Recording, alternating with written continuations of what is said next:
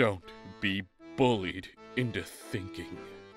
Really is just Twitter's mantra, isn't it? Nothing can ever stop this man from fighting for our country! Bone spurs. Health insurance is cool, because you get to pay a bunch of money each month for nothing, and then if something happens to you, you have to pay a bunch more. It's great! You should try it! Hey, why is the winner of Miss Universe always from Earth? No, no, no, hold on. You got a point.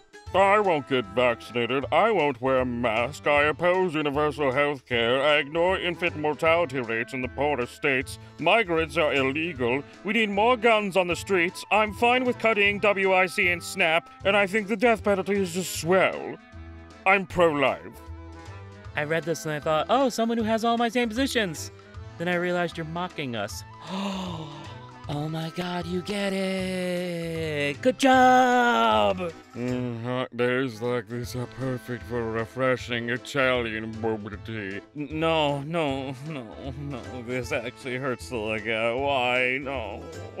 Eh, little treat culture's getting out a hand. You don't need an $8 coffee because you did laundry. Sounds like someone who could use a little treat. Hey, do you think if the mask was more mainstream, he'd have been a Tumblr sexy man? Hold on. We're on to something. Behold, great value DiCaprio and generic Cruz.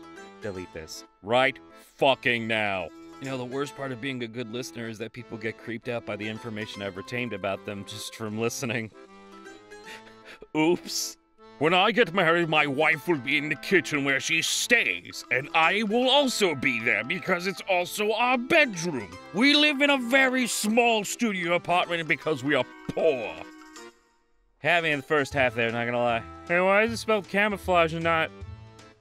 Not what? Bro, it's not loading. Just some chill folks talking about music in my office earlier this year. Andrew, how come you didn't show off your legs like the rest of the guys?